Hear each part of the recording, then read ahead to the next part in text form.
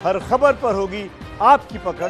Download कीजिए ABP live app और देखिए यूपी सरकार ने 50 साल की उम्र में रिटायरमेंट और 5 साल संविदा पर रखे जाने की खबरों का खंडन किया है। ये खबर कल से ही सर्कुलेट हो रही है। यूपी के डेप्यूटी सीएम केशव प्रसाद मौर्य ने कहा है कि ऐसा कोई फैसला सरकार ने लिया ही नहीं है।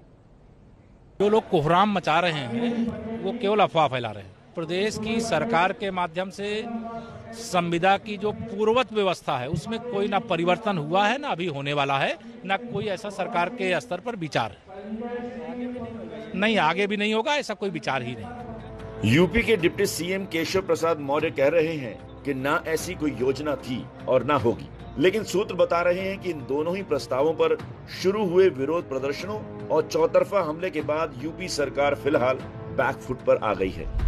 गुरुवार को इसी मामले पर प्रयागराज में छात्रों और पुलिस के बीच जमकर भिड़ंत हो गई।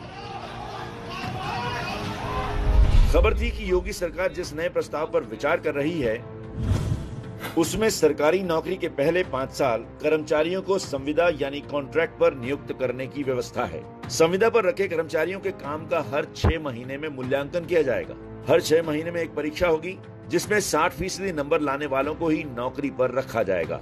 कांग्रेस महासचिव और यूपी की प्रभारी प्रियंका गांधी ने इसे काला कानून करार देते हुए ट्वीट भी किया था। पाँच साल संविदा कानून एक काला कानून है।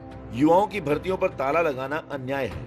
इस अन्याय के खिलाफ युवा अपना हक मांगने के लिए सड़कों पर उतर रहे हैं। तो उनकी बात सुननी चाहिए।